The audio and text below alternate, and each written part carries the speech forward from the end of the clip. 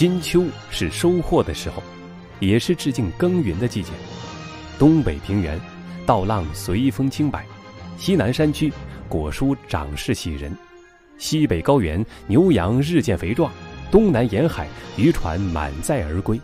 华北平原，青纱帐一眼望不到边。来到这个村四十多年了，确实发生了天翻地覆的变化。杨宝林在天津市东丽区胡张庄村扎根了四十多年，他的生活早已与这片土地融为一体。胡张庄村曾是贫困村，乘着改革开放和乡村振兴的东风，家家户户种起了葡萄，一颗颗香甜葡萄也成了村民们的致富果。天津市东丽区华明街道胡张庄村股份经济合作社党支部书记、理事长杨宝林。现在的葡萄产业是我们农业的一大项的支柱产业。在杨宝林的带领下，村里大力发展现代化农业，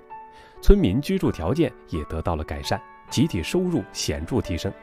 天津市东丽区华明街道胡张庄村股份经济合作社党支部书记、理事长杨宝林。葡萄的一年比一年价钱好，老百姓有收入了，他们就高兴了，劲头更足了。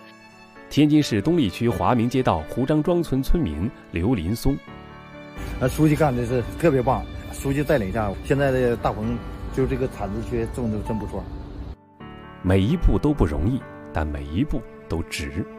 我们的笨豆油采用传统压榨的工艺，最大程度地保留了豆油的营养和纯在全国产粮大县吉林省四平市梨树县，凤凰山农机农民专业合作社理事长韩凤香正在网络直播间推介合作社自主品牌“韩小鸭”压榨笨豆油。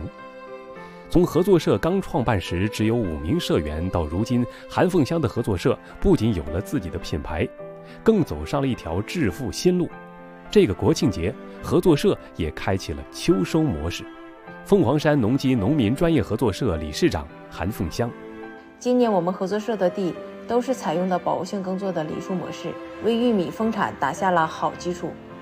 从习惯于传统耕种，到如今采用秸秆覆盖还田的梨树模式科学种田，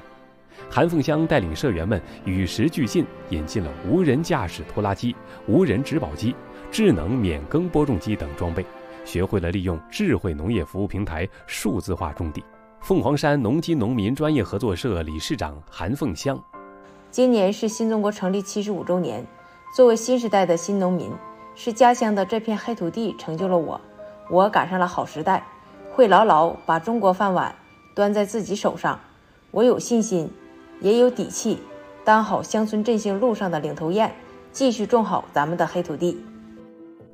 九零后青年周红目前在家乡四川省雅安市营京县龙仓沟镇经营一家民宿。二零一七年，当他听说家乡正在打造民宿村时，就决定回乡创业，成为一名吃旅游饭的新农人。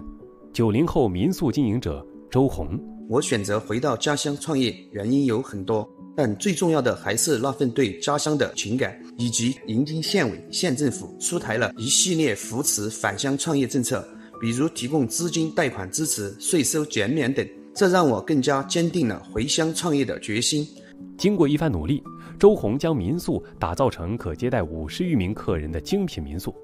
同时，当地政府也为这些回乡创业者免费提供烹饪、卫生、安全等培训项目，并组织他们外出参观，开阔视野，为创业者服务能力的提升提供了系统的指导和帮助。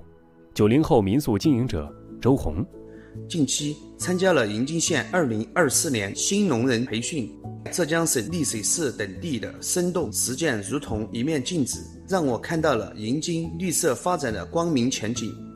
说到今后的发展，周红信心十足。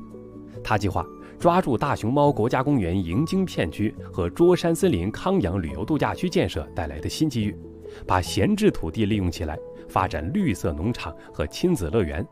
为前来休闲度假和康养的人提供更丰富、更舒适的绿色体验，同时带动更多老百姓就业，大家一起富起来。九零后民宿经营者周红，推动家乡的绿色发展是我义不容辞的责任。我将积极推广绿色农业、生态旅游等可持续发展模式，